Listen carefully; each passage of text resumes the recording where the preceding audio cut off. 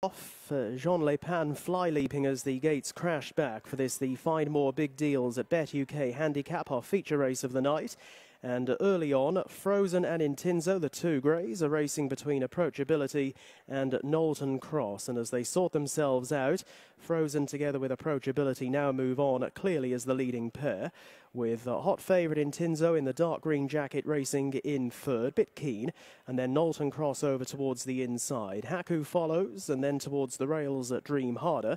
That one a further length in front of Duke de Kent, and then at the back end of the field, Al Zarakan better known as a chaser these days, along the inside of Jean Lepan, who's much better known as a sprinter, racing over a, a, trip far in excess of anything he's raced over before. And you can tell a little bit he's very keen at the back, wanting to go faster, probably wondering what's going on as they race down towards us with a circuit left. Approachability is the leader by a length, to in second position Intinso, then in third Frozen. Frozen tracked through by Knowlton Cross without wider Hack, who a three times course winner. Back in behind those runs Dream Harder, and then Duke de Kent, Al Zarakan, and Jean Lepan, who, yes, has to go round again as they make the run now towards the halfway stage and the final six furlongs of this Find More Big Deals at Bet UK Handicap.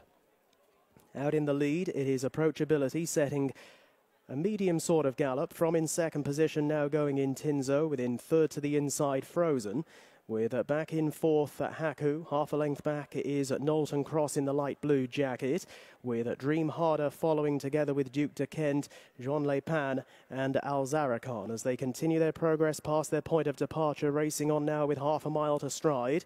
And it is approachability out in the lead. Approachability by three parts of a length, with Intinso poised in second and now moving closer, with back in third towards the inside. Frozen. Haku moves well in the quarter jacket it out a bit wider as Intinso now comes through to serve it up to approachability and takes over on the home turn. Haku, though, beginning to emerge as a danger towards the outside. Intinso now kicks on under Hollie Doyle.